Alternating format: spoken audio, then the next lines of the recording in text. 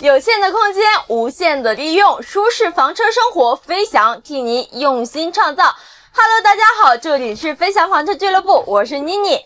这几天啊，经常看到车友们的留言，问后置厨卫的会客厅到底有多大，沙发呢是怎么样变成床的，桌子的尺寸是多少？有求必应，今天呢就给大家一一解答，一起来看看吧。在会客厅的区域可以看到有一张超大的沙发，坐四个人都是完全没有问题的。旁边呢就是宽敞的过道以及两个独立的航空座椅。看这个过道啊，一个成年男性在这里做俯卧撑都是没有问题的。从驾驶室去往厨房的路，轻轻松松就可以走过去，无需多余的布置，十分通透。将它轻轻拉出来，电控按钮升起，将桌下的滑轨拉出来进行固定，一张长一百厘米、宽四十五厘米的桌子就出现啦。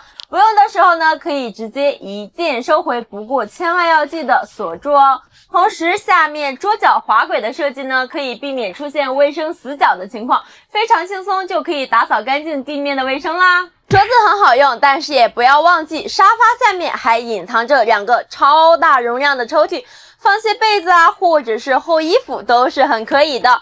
储物空间和大桌子共用一块空间的这种巧妙设计，真的太赞了！你说设计师他到底是怎么想出来的呢？沙发怎么变床？直接看操作吧。将沙发下方左右侧的卡扣打开，向外一拉，再调整一下垫子，一张一米三乘以两米的双人大床就出现了。注意哦，记得要把支腿放下去，这样睡觉才能安全又放心。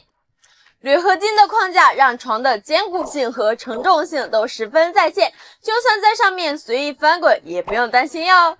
床垫软硬适中，躺下去就是非常舒服的状态，完全不想起来了呢。三张垫子组成一张床，十分的平整，没有多余的空隙，不用担心会被硌到身体。晚上睡觉的时候呢，直接把衣服放到对面的航空座椅上，早上起来再穿上，再也不用让爱人帮你找东找西了。沙发变床十分简单，床变沙发也不难哦。我们先把支腿收紧，抽出中间的垫子，可以看到两根固定绳，直接往上一拉，腿部稍微给点力量，沙发就大功告成了，不需要来回搬来搬去哦，让您休息娱乐两不误。这样的设计谁能不爱呢？一张沙发双人床，一张原木折叠桌，一个没有压迫感的会客厅和一辆承载美好的房车。